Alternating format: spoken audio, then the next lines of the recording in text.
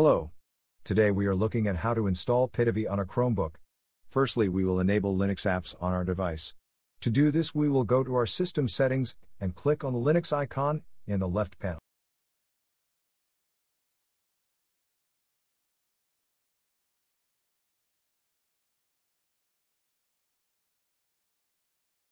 Now we will turn on the Linux apps.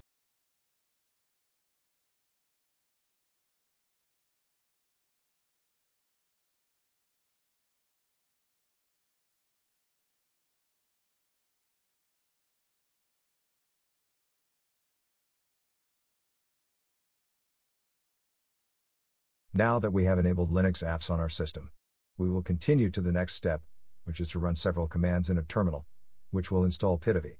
All the commands are in the video description. Now we will copy the first command and open a terminal session from our app menu.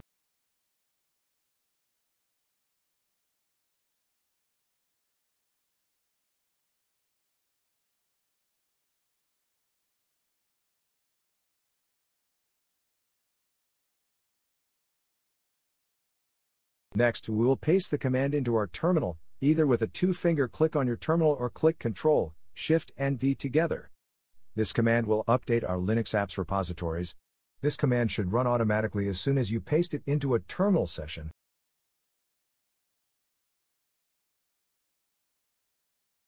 Now we will install Flatpak.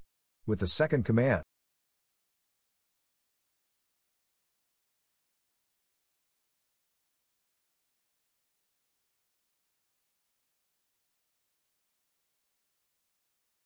Press Enter to confirm the installation.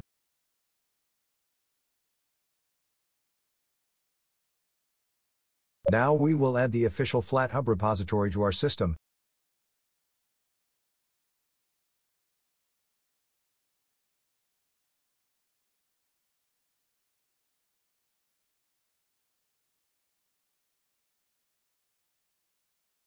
Now we will install Pitivi with the last command.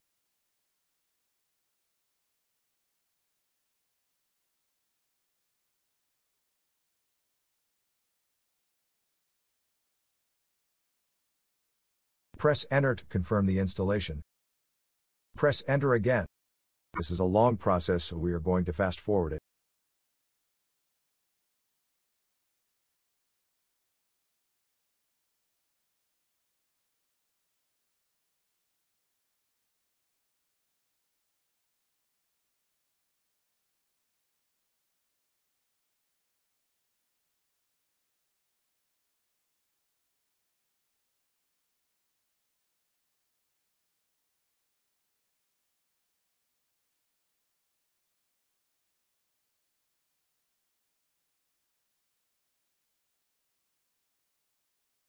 Pitivi is now installed on your Chromebook. However, we need to disable the Crostini GPU support.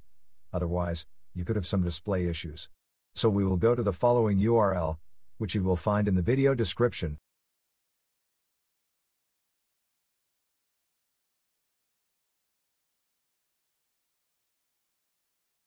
Under the Crostini GPU support section, disable the function.